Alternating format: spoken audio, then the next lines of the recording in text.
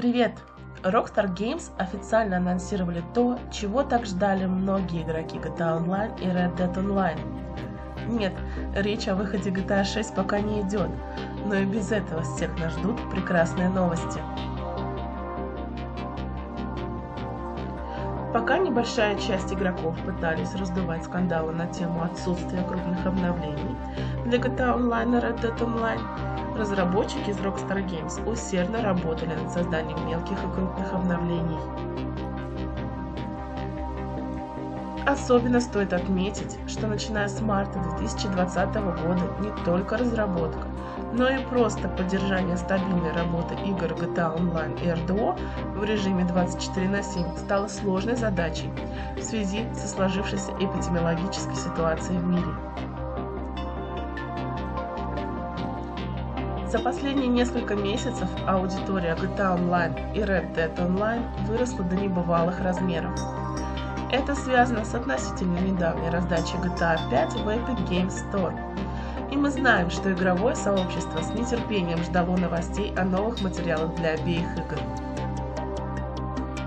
Спешим обрадовать, в ближайшие несколько недель и та, и другая игра получат долгожданное обновление – Отслеживать информацию о грядущих обновлениях, дополнениях и значимых событиях GTA Online вы можете на сайте gta5.su.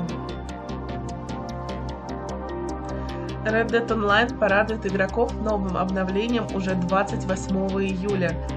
Будет добавлен новый промысел на фронтире, роль, которая познакомит игроков с секретами натурализма, а также новый бандитский абонемент, огромное количество востребованных добавлений и исправлений и многое другое, что увлечет игроков в ближайшие месяцы. Также скоро выйдет летнее обновление для GTA Online. Оно предложит игрокам широкий выбор из массы новых вещей и увлекательных занятий. Можете написать в комментариях, что именно вы хотели бы видеть в данном обновлении. А ближе к концу года игроков будут ждать новые большие обновления для обеих игр, в том числе расширение и дополнение существующей роли в Red Dead Online, а также крупнейшее обновление для GTA Online, включающее ограбление в абсолютно новой локации. Rockstar Games в своем официальном анонсе сообщает, Отталкиваясь от замечаний и предложений, которыми вы поделились с нами через официальные каналы обратной связи, мы добавили в грядущее обновление ряд широко востребованных функций, в том числе игру на музыкальных инструментах в Red Dead Online, возможность управлять всеми предприятиями через главный пульт в GTA Online и не только. Ближайшие недели мы планируем воплотить в жизнь еще несколько ваших пожеланий.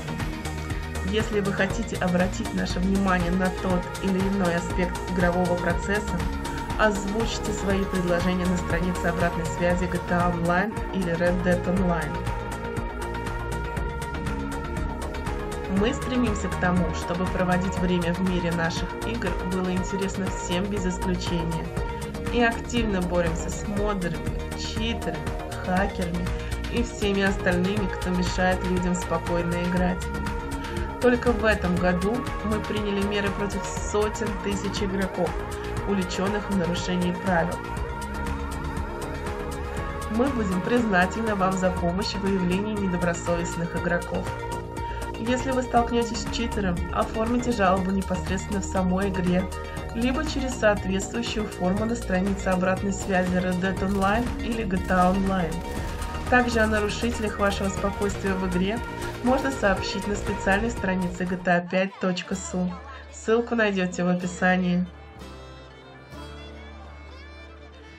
И разумеется, впереди вас ждет еще много всего интересного, так что следите за анонсами. На этом я с вами прощаюсь, встретимся в онлайне.